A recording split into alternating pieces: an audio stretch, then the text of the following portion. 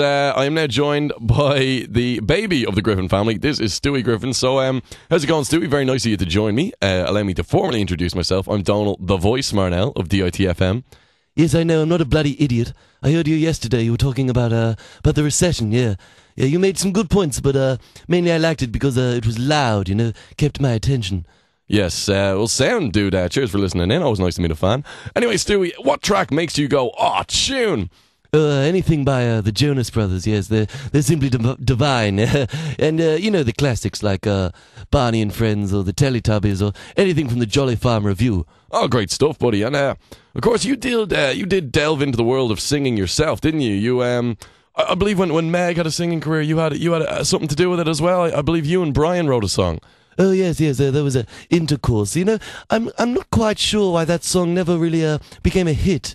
Uh, could could we hear some of it now?